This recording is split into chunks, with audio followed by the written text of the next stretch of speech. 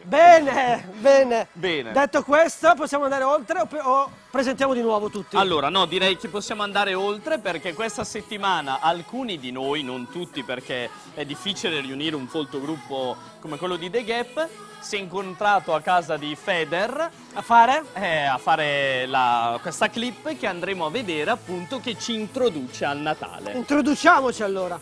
Vediamo.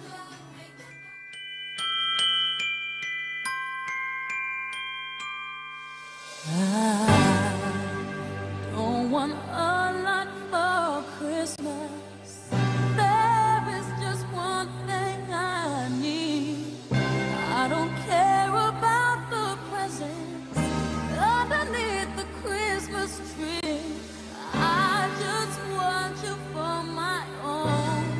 All you could ever know Make my wish come true.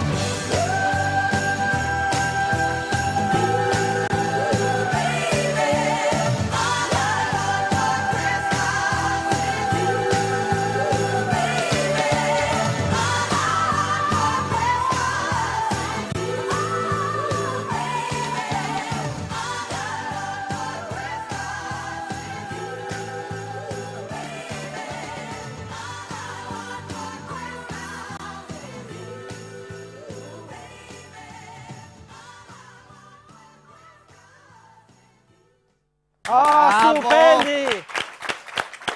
Gli auguri che arrivano dai ragazzi di The Gap, ma che possiamo estendere da The Gap anche a tutta RTB Sì. e ai telespettatori. Assolutamente sì, infatti questa è la puntata di auguri anche dedicata a voi. Scriveteci i vostri auguri, quindi che li ricambiamo sicuramente. E ricordiamo che c'è i nastri pantaloni usati di Botti.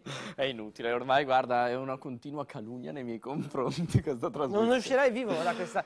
Dopo, dopo 40 puntate, quando arriveremo a 40, abbiamo qualche richiesta? No, è che siamo già a 6 euro per i pantaloni. Il Botti. Ah, Ma Sta come alzando- 6 euro? Alziamo un po'. Aspetta, ora offro 11 euro. 11 Raga. euro. 11 euro, Rosalba. Lo Grazie. stai Allora, giudicando. Rosalba, alziamo un po' il tiro. Se alziamo il tiro, glieli facciamo anche indossare altri tre giorni. Eh. Aumentiamo il valore. Eh, insomma, è una star, eh, un attimo. Profumo, io profumo. Allora, detto Di questo uomo. oggi che eh sì, molto. Allora che